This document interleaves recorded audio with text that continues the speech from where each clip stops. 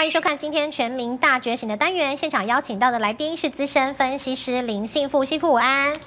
主持人各位观众，大家好。好，我们先带大家来扫描今天午盘盘面上的量大指标股。台北股市呢，今天反弹，目前呢是上涨八十一点，上市成交值排行包含了华新科、国巨、台积电。大力光、可成、星星在此刻是再度的亮灯涨停。那上涨的华新科，目前的认购权证当中，成交金额最大是华新科国票。国巨的认购权证成交金额最大是国巨凯基，台积电认购权证成交金额最大是台积电元富，大力光认购权证成交金额最大是大力光永昌，可成认购权证成交金额最大是可成统一。好，幸福哥，其实今天呢台股的反弹哦，盘面上呢还是有蛮多的族群在带动今天的人气指标呢，我们一起带大家来做掌握。那看到呢，除了刚刚呢有很多老师有提到的思科相关的概念股，因为华为可能被美国封杀，今天呢，这资金呢就流动到这边了。那五 G 概念股在经历了昨天的重挫之后，今天呢也再度的恢复了人气哦，开始出现了积极的反弹攻势。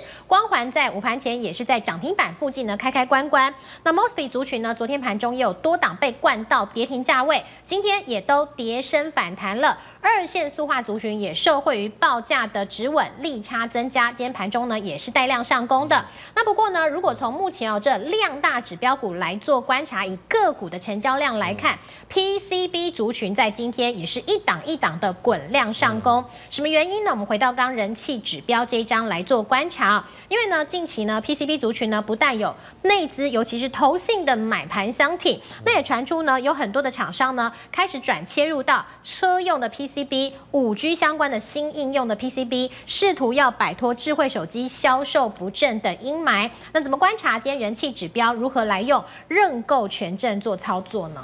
好的，我想哦，今天在盘面上哈，这个呃可以说呃开始哦有这个人气回笼的迹象哈。我想我昨天在中同样这个时间跟大家解盘的时候，我们认为说哈这个九千七以下哈，短线已经跌得又快又急哦。那指数的部分呢，九千七以下哈。不要再去追空哦！不要再去追空。那当然，我们也不知道说，哎，昨天明明美股开盘是大跌的，最后哎居然变小跌，然后纳斯达克还收小涨哦。但是呢，我们就目前台股的位阶来看哦，今天的反弹也也印证我们昨天呃这个九千七哦以下短线跌的又快又急，不要去追空哦。我想这是第一个哦。再来第二个就是说呢，呃，最近哦有陆陆续续公布了，包括像这个十一月份的营收哦，还有呢陆陆续续公布了一些。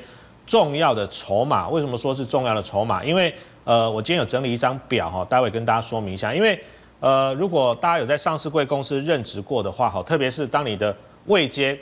高到某一个层级之后，比如说像协理级啦，哦，副总级以上，那如果公司有配给你股票的话，你每个月的五号之前呢，要跟公司申报说你上个月的哦持股哦有没有变动哦，比如说你是红海的。呃，这个副总哦，红海的这个资深协理，或者说你是台积电的副总等等，你都要如实的在每个月五号之前，哦，跟公司申报，然后呢，公司再把你这个持股变动的资料上传到交易所，交易所再公布给大家看。那我觉得这个就非常关键哈。如果说呢，有一家公司哈，呃，它的这个持股，经理人的持股就是高阶了哈，因为通常你要到一定的层级以上，你才要申报，通常是协理级以上。那如果说呢，这些高阶的资深经理人呢，开始去增持自己家的股票，哎，我觉得这个就相当有意思。我今天帮他整理一张表哈，大家来看一下。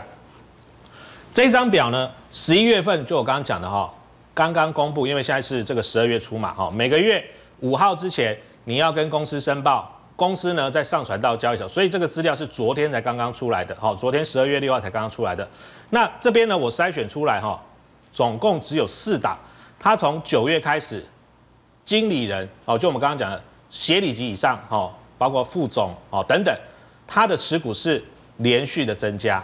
哦，连续的增加。比如说像森达科，九月高阶经理人持股二点五四，十月跳到二点七二，上个月呢跳到二点七四，好，那茂达一点四八跳到二点二八，再跳到二点三三，哦，嘉联益、宏杰科等等，哦，那同时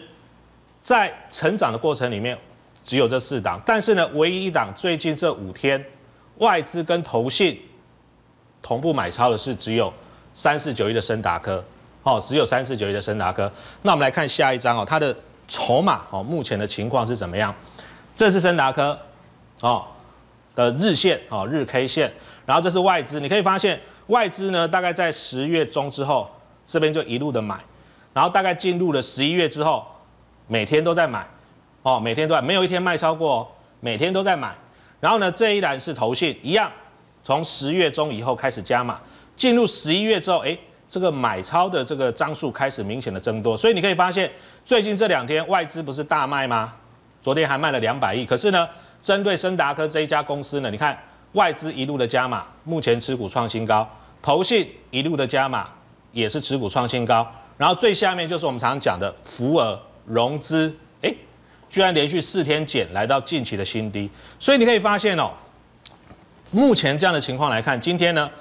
筹码好的都领先开始反弹，像昨天，其实你仔细去看哦，一些呃这个。PCB 的股票其实昨天外资是没有卖，虽然昨天外外资卖了两百多亿，可是呢，蛮多的一些今天强势的电子股哦，昨天外资居然都是买超，也就是说，它能够在外资连续两天反向调节情况之下，外资还持续的在加码这一档个股，甚至呢，连投信还来参与咖，哎，